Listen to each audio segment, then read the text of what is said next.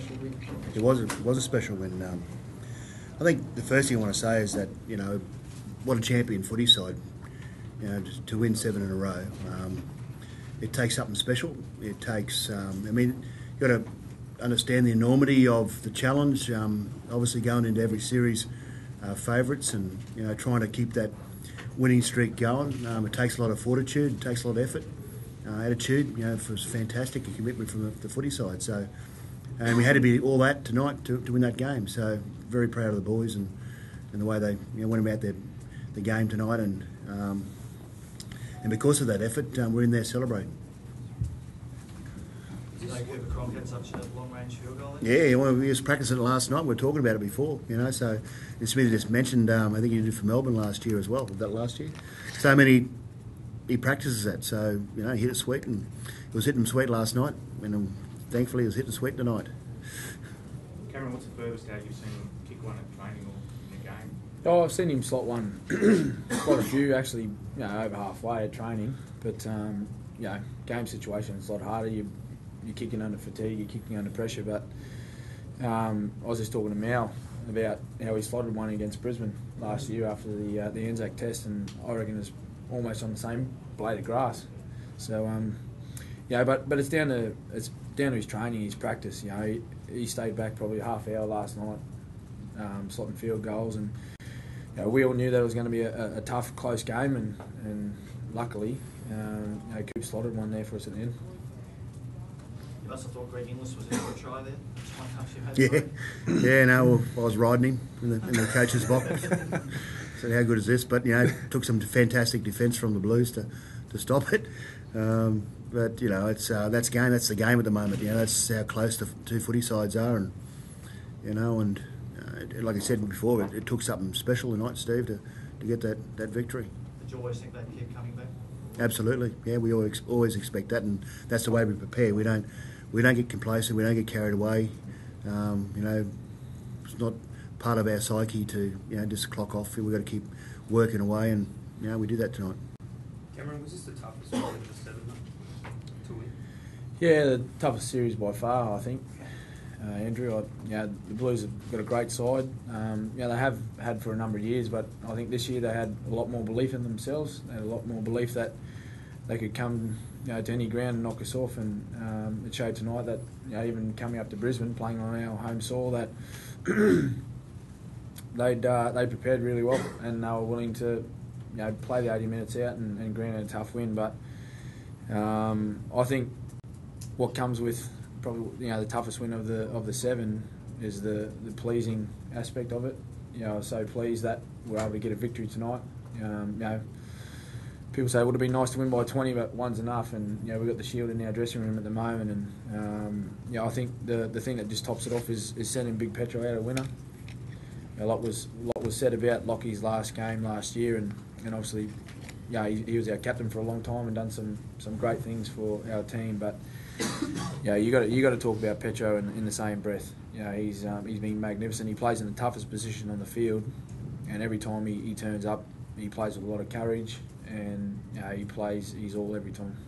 As a game, where does that one sort of rate in all the origins and international finals and stuff you play? Oh, no, it's hard to recall every game that you play because you know I've been lucky enough to play a few, but a recent memory that that's right up there. And I, I said in an interview after the match to I was speaking to Lockie and saying the people that paid $130 to come to this match they wouldn't have been disappointed. That was one of the best origins. I reckon it'll go down in history as one of the best origins. It was so close, two great football sides. Um, there was never really too much of a gap on, on the scoreboard, um, and it went right down to the wire. It's you know that's that's what Origins football is about.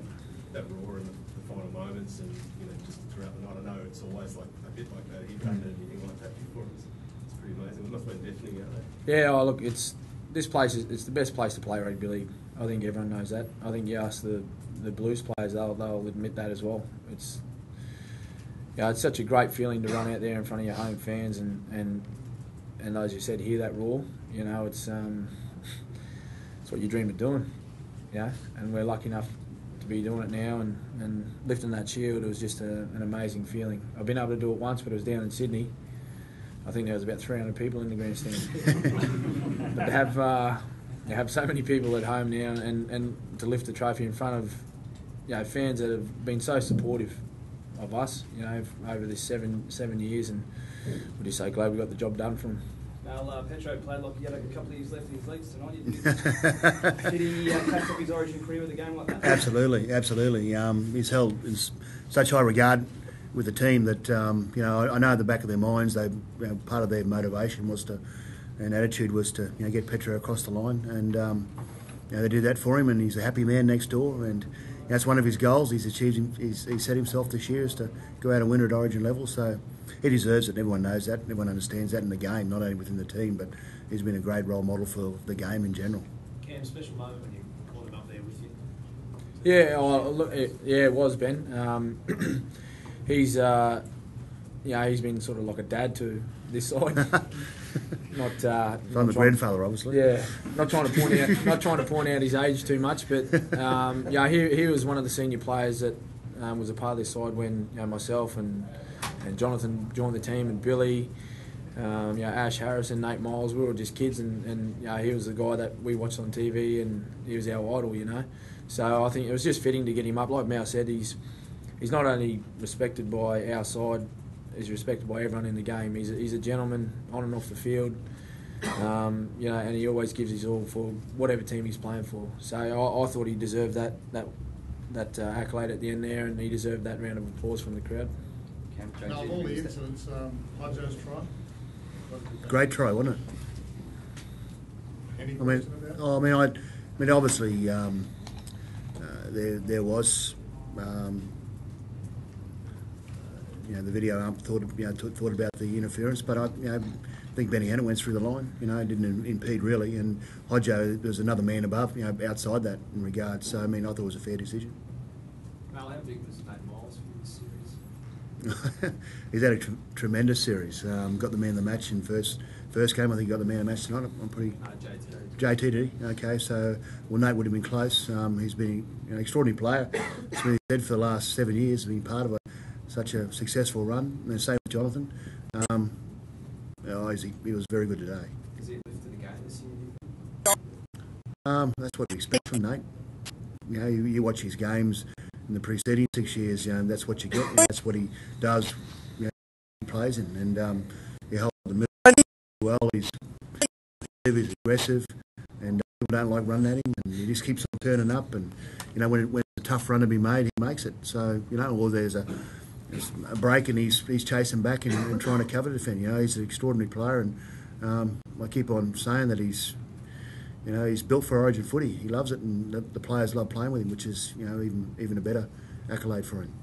What about Johnathan's performance tonight? Yeah, well, he was extraordinary too. Um, I thought, you know, without singling, singling players out, um, you know, JT was wasn't um, happy with his, his game in, in, in game two, and you know, uh, went back to the club and played really really well for the Cowboys, and, and got back on the on the front foot again, and you could see with his preparation all week that he was, you know, he's ready to go. He wanted to play. He wanted to sort of uh, make his mark on, on the game as a as a six in particular, and um, you know I think he did that tonight. Cameron, what did you say after that explosive start? You know, with when Tatey almost got uh, one on the chin from Paul Gallen. You have to talk to the players about that? No, the, the boys are fairly calm, Steve. Um, we knew we, we knew both sides. Of, well, we knew they were going to start aggressive, and we need to be aggressive as well. We, I thought, um, that we were outmatching the first two two games with aggression. Um, but I thought the boys, you know, we didn't take a backward step tonight. You know, we're playing on our home turf in front of our home crowd, and we weren't going to get pushed around. And um, yeah, the boys have got great composure. I think that showed tonight. There was a couple of times where things blew up a little bit, but we're about playing footy. We're not, we're not about trying to put the other team off with niggling tactics or anything like that. We're just about playing our, to our game plan, and that's why we come away with a victory. It's a pretty special try from Josh Morris. Was there any doubt in your mind that they could really, lift them? Um, no, we. Um, I think going back to what Mal said earlier, you know, we always knew that they were going to fight to the end, and it took a special effort by you know, Josh Morris to get that ball down. Um, pretty extraordinary. He Can't showed, defend that. Yeah, he showed great skill to, to get it down, and um, you know he's a special player, and, and they got great talent in their in their whole side. Um, you know, we never we never thought well we'll just get ahead by two or four points and that'll be game over. We, you know, we knew they were going to come back. They've showed that all series that they'll play the 80 minutes out, but um, yeah, we'll, we'll better by one point tonight. Well, uh, Ben Te'o seemed to give you an extra gear in that last quarter. Yeah, yeah. impressed with his debut? Yeah, I was very impressed with Ben. You know, he, he got up the pace of the game really well. Uh, he did a bit tough there about 10 minutes into his stint, but you know, he kept on plugging away and he got through really well. I was very pleased and impressed with um, his efforts and you know, cutting the ball forward and defensively. He did the job for us tonight, and I was very pleased for him. Thanks, everyone.